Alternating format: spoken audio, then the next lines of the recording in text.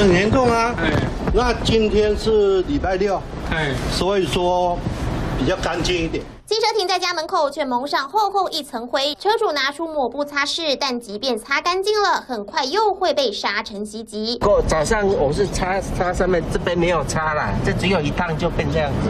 上午才刚刚清洗过的爱车，刚出门一趟，轮胎附近又全是泥水喷溅痕迹，让车主好困扰。那个窗户全部关起来，都不开啊。呃，沙尘暴一样，真假的家人动不了。我今天把车子就不摆这边了。嗯。开到我老家去了，整个车子全部都是泥沙啊！因为它洒水后，那个那个水会溅起来，然后车子啊、摩托车到处溅得到这到到处。砂 石车频频惹怨，除了偶尔沿途渗漏，更困扰的是居住环境。台中雾峰区的居民深受沙尘影响，因为一桥之隔的南头草屯鸟嘴潭正在进行工程，砂石车频繁出没，带来阵阵烟尘，严重影响居民生活。长时间来哈，影响我们这边的生活影响太大了啊！我们也不能说叫他。不走这边嘛，走这边可以，你就把人路洗干净，不要造成我们生活上的不便。